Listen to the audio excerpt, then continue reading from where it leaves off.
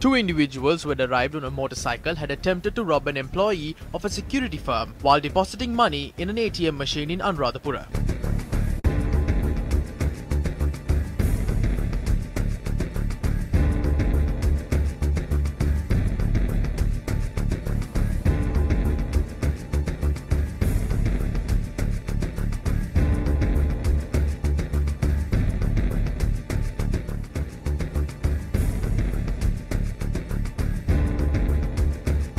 ඒ අවස්ථාවේදී මුදල් අ, මල්ල අතේ තිබුණු They had attempted to rob the employee of the security firm who had been carrying cash in a bag after throwing chili powder at him.